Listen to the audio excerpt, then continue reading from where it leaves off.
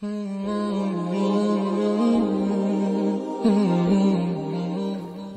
the future of such children in this primary school in the middle of no man land in Kilifi in Kenya. Who can build the future? It's you. It's you, young men and young women, living in any part of the world. Whenever you listen to me, wherever you are living, it's you. It's you. who have to come here and to meet the challenge. It's you who have to look at the future of such a children as much as the future of the other children in Yemen, in Syria, in Myanmar, in, in Rohingya, in Uyghur, all this. It's you people. Don't be depressed.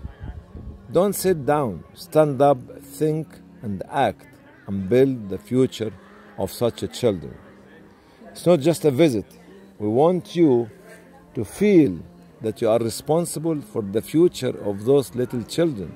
Because really, they are welcoming any one of us and all of us. And if we don't have a mission to live for and the message to deliver, it becomes very serious for the future generation of even our family.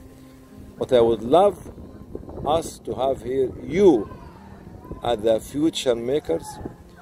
You are uh, life makers, and you as a generation makers. This is the real challenge. The real challenge, not when you release your energy on a football match, on a drama, or on a discussion in different areas. It's here. The challenge is here.